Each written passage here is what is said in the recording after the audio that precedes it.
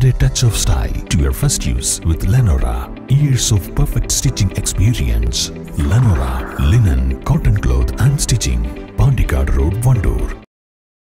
അമിതപിഴ ഈടാക്കുന്നത് തുടർന്നാൽ സ്വകാര്യ ബസ്സുകൾ സർവീസ് നിർത്തിവെക്കേണ്ടി വരുമെന്ന് ബസ് ഉടമകൾ Nilambur taluk private bus operators association നിലമ്പൂരിൽ നടത്തിയ സമ്മേളനത്തിലാണ് മുന്നറിയിപ്പ് നൽകിയത് ബസ് ഓപ്പറേറ്റേഴ്സ് ഫെഡറേഷൻ സംസ്ഥാന വൈസ് പ്രസിഡന്റ് ശരണ്യ മനോജ് കുമാർ സമ്മേളനം ഉദ്ഘാടനം ചെയ്തു.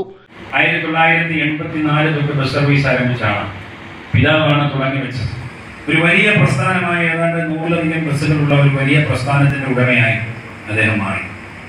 പക്ഷെ അദ്ദേഹം അന്നും മത്സര ഒഴിവാക്കണം എന്ന് ഞങ്ങളോട് പറഞ്ഞത് ഞങ്ങൾ മൂന്നാം മക്കളാണ് മത്സര ബുദ്ധി ഒഴിവാക്കണമെന്ന് പറഞ്ഞു പക്ഷേ സാഹചര്യങ്ങളുടെ സമ്മർദ്ദം കൊണ്ട് നമ്മൾ പല മത്സരങ്ങളിൽ പങ്കെടുത്തു അല്ലെങ്കിൽ പല മത്സരങ്ങളും നടത്തി. പക്ഷെ അതൊന്നും ജീവിതത്തിൽ യാഥാർത്ഥ്യമല്ല എന്നുള്ള തിരിച്ചറിവ് എന്റെ പിതാവിന്റെ മരണത്തോടുകൂടിയാണ് എനിക്ക് തോന്നിയിട്ടുള്ളത്. അപ്പൊ അതുകൊണ്ട് നമ്മൾ ബസ് സർവീസ് നടത്തുന്ന നിങ്ങളെല്ലാവരും ഒരു മിനിറ്റും രണ്ട് മിനിറ്റിന്റെ ഒക്കെ സമയത്തെ ചൊല്ലി അങ്ങോട്ടും ഇങ്ങോട്ടും ഒക്കെ പ്രശ്നങ്ങൾ ഉണ്ടാക്കി നമ്മൾ മുമ്പോട്ട് പോകാം ഈ ഒരു മിനിറ്റിന്റെ പ്രശ്നം കൊണ്ട് ചിലപ്പോൾ ഒരു നൂറ് നൂറ്റമ്പത് രൂപയുടെ വ്യത്യാസമായിരിക്കും. പക്ഷെ വളരെ സഹകരണ മനോഭാവത്തോടു കൂടി ഒറ്റക്കെട്ടായി സംഘടന എന്ന് പറയുമ്പോൾ നമ്മൾ സംഘടിക്കുമ്പോൾ ഉണ്ടാകുന്ന ഒരു ശക്തിയാണ് സംഘടന എന്ന് പറയുന്നത്. സ്വകാര്യ ബസ്സുകളുടെ പേരിൽ അമിത പിഴ ചുമത്തുന്ന ഗതാഗത വകുപ്പിന്റെ നടപടി തുടർന്നാൽ സ്വകാര്യ ബസ്സുകൾ സർവീസ് നിർത്തിവെച്ച് പെർമിറ്റുകൾ തിരിച്ചു നൽകാൻ നിർബന്ധിതരാകുമെന്നും ശരണ്യ മനോജ് കുമാർ പറഞ്ഞു. വിദ്യാർത്ഥികളുടെ യാത്രാ നിരക്ക് വർദ്ധിപ്പിക്കുന്നതിനായി കമ്മീഷനെ വെക്കാമെന്ന സർക്കാരിന്റെ ഉറപ്പ് ഇനിയും പാലിക്കപ്പെട്ടിട്ടില്ല.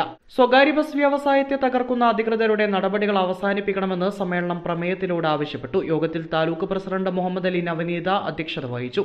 സംസ്ഥാന ഖജാൻജി ഹംസ എരിക്കുന്നൻ മുഖ്യപ്രഭാഷണം നടത്തി. സംസ്ഥാന ജോയിന്റ് സെക്രട്ടറി രാജശേഖരൻ ജില്ലാ പ്രസിഡന്റ് ബ്രൈറ്റ് നാണിഹാജി വിവിധ താലൂക്ക് ഭാരവാഹികളായ അനിൽ നിലമ്പൂർ മുനീർ വണ്ടൂർ എൻ കെ ശിശുപാലൻ വെട്ടത്തൂർ മുഹമ്മദ് അലി ഹാജി റഫീഖ് പടിക്കൽ കുഞ്ഞുമൊയ്തീൻ തോട്ടത്തിൽ എന്നിവർ സംസാരിച്ചു. News bureau Nilambur. ആഗ്രഹങ്ങളെല്ലാം ആഘോഷമാക്കി ജനഹൃദയങ്ങൾ കീഴടക്കി മലബാറിന്റെ രാജവീതിയിൽ അൻപതിനായിരത്തിൽ പരം സംതൃപ്തരായ കസ്റ്റമേഴ്സിന്റെ പിന്തുണയിൽ ആമോറ വിന്റർ കളക്ഷൻ മമ്പാട് ആനക്കയം. മഞ്ചേരി ടൗണിൽ പ്രകൃതിയോട് ഇണങ്ങിയ ഒരു സ്വപ്നവില്ല. മുപ്പത്തിയൊൻപത് ലക്ഷത്തി തൊണ്ണൂറ്റി ഒൻപതിനായിരം രൂപ മുതൽ സ്വന്തമാക്കാം.